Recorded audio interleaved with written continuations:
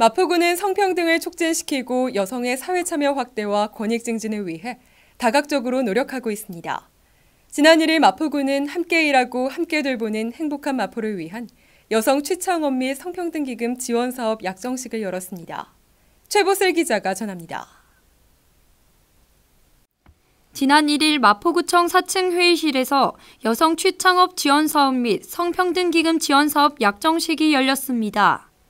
여성 취창업 지원 사업은 지난 2월 공모를 받아 여성자원금고, 마포구 고용복지지원센터, 서울지역 사회교육문화협의회, 트립티, 마포구 다문화 가족지원센터 기관이 선정됐습니다. 각 기관의 사업별로 600만 원에서 3천만 원까지 총 1억 원을 지원해 경력 단절 여성의 취업 욕구와 지역 사회에 맞는 일자리 공모 사업을 진행합니다. 성평등 기금 지원 사업은 합정동 아동여성안전지역연대, 연남 꽃길 공동육아방, 사단법인 함께 가는 마포장애인 부모회, 마포여성단체연합회, 마포여성 네트워크, 성산종합사회복지관에 총 4,200만 원을 지원합니다. 사업 진행에 앞서 단체별로 약정을 체결하고 사업비 관리 및 집행 방법 등에 대해 설명해주는 시간을 가졌습니다.